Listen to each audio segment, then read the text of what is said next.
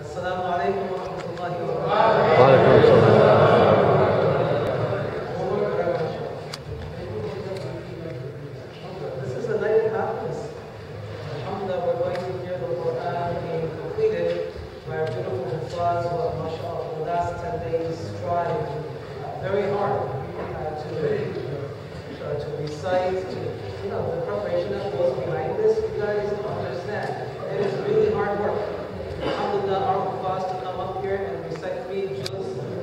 In the Tarawih prayer is highly commendable. We pray to Allah, Allah subhanahu wa ta'ala accept their efforts.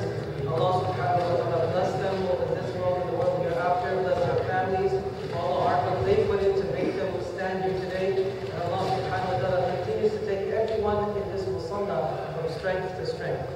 Alhamdulillah, this is a place that has come a long way since it had begun. And look at the place now. It used to be a gymnasium where it's portioned off in different courts. Uh, and uh, we started off with just an idea, coming to terms with the fact that we have a growing Muslim community, a sizable Muslim community just behind us within these buildings, within this neighborhood. And it's important for us to have a place that is accessible for our five daily prayers, following the Madani model, where you had in the time of Rasulullah one central masjid known as Masjid Nabawi. And as our rahimahullah writes in Umdat al-Qari, he says that in the surrounding neighborhoods of Medina, you had these small little neighborhoods, they had a musalla that was fixed for that neighborhood. Right? And there was nine in total. So the system, the Madani model was such that in each neighborhood you had a musalla where the community could congregate, and then you had a central masjid where people will come for Jumu'ah, people will come for Eid, where Rasulullah sallallahu alayhi wa sallam would be delivering important talks. People would congregate there. So Alhamdulillah, in light of that model, we have this musalla that was established to make it more accessible for the people of this neighborhood. And Alhamdulillah, Allah subhanahu wa ta'ala has set a system for us where we can avail through our contributions to such projects in such a large way. And why is that? We have to understand one thing. Those of us who are coming from the Middle East, down there you have a system where everything is run by the government. The Muslims are going to be funded by the government, right? Projects are going to be funded by the government. You have a waqf. So for a regular person like me to go ahead and give the contributions I can give here in non-government type of uh, funded projects is not going to be the same. Here Allah subhanahu wa ta'ala has brought us a system where we have to do everything from scratch on our very own Without any support except the support of our brotherhood. Right? The support of our of our neighborhood, the support of our believing men and believing women. وَالْمُؤْمِنُونَ وَالْمُؤْمِنَاتُ بَعْضُهُمْ أَوْلِيَاءُ بَعْضٍ As Allah says, right? That the believing men and the believing women are allies of one another. And it's through our alliance and our working together that we have been able to go from just one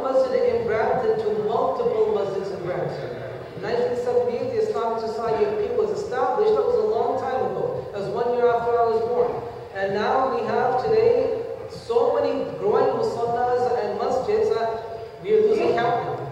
Okay, there used to be one masjid that was built back in Edmonton in 1934. That was the first masjid to be built here in Canada back in 1934. And then in 1967, you had the second masjid built in Canada, Canada in. And from there we had one masjid built in Toronto. And from there Allah subhanahu wa ta'ala has built this network, all of this through the generous contributions and the heart of the Muslim community here in Canada. It's all through that. So Alhamdulillah, Allah subhanahu wa ta'ala continues to give us opportunities to contribute to the benefit and the welfare of our hereafter. And the brothers here, the sisters here have stepped up. They have contributed a, a large amount, of alhamdulillah, towards this project. We have, in our last fundraiser that was held on Saturday, May 11th, 2019, through this very musalla, $30,000 was raised. Say takbir. Allah. This is not a small amount. $30,000 is not a small amount, has been now deposited in the bank of our hereafter. And Alhamdulillah, we have some committed brothers here that decided that, you know what, we're going to take, we're going to shoulder the responsibility of carrying this musalla forward.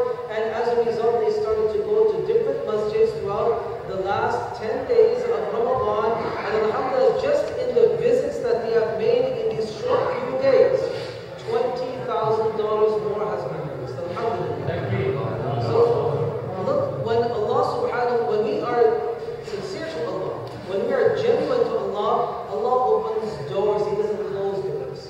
Allah opens doors, He doesn't close doors. So now, alhamdulillah, when it comes to the operating costs of this musalla, it's projected around $120,000 a year. $120,000 a year. If you think about that, relatively speaking, that's not a large amount. That's not a large amount at all. But it is a necessary amount.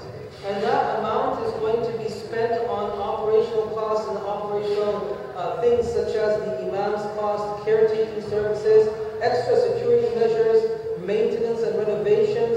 installing drinking water fountains, things of an event, insurance, supplies, bills. We know that when we have a roof on top of our head, we haven't just finished our mission, we're continuing with the mission with all the costs that we continuously incur throughout the year, such as you know the bills and the insurance and so forth that we have to uh, we have financial obligations towards. So alhamdulillah, this amount has been raised $50,000 so far, and we need another 75,000